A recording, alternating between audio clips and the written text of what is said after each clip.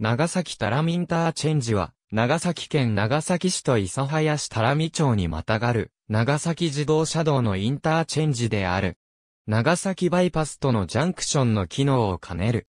長崎タラミという名称は開通した当初は、長崎市と西園木郡タラミ町にまたがることに由来している。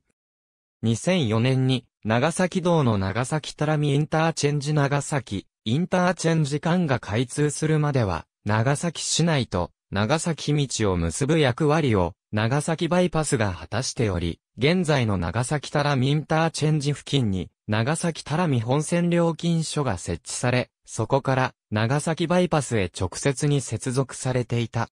長崎道が長崎インターチェンジまで延伸されると、本線料金所は撤廃され、通常のインターチェンジに変更された。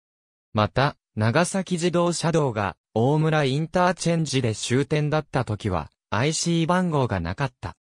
これは長崎自動車道という名称に佐賀県側の反発が強く、特に佐賀県内区間と長崎県内区間が直結するまでは長崎自動車道という名称が長崎県内区間でのみ用いられ、佐賀県内区間では九州横断自動車道という名称を使用していた。ためである。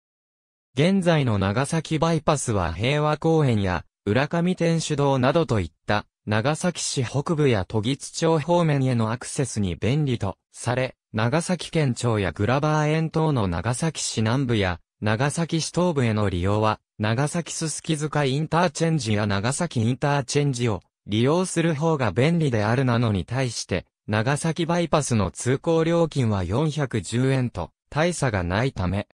ただし長崎バイパスでは2011年6月19日まで無料化社会実験が行われたため無料で通行できた。長崎タラミインターチェンジ長崎インターチェンジは非常に強愛な谷間が連続するため2010年時点では暫定に車線の対面通行許容となっていた。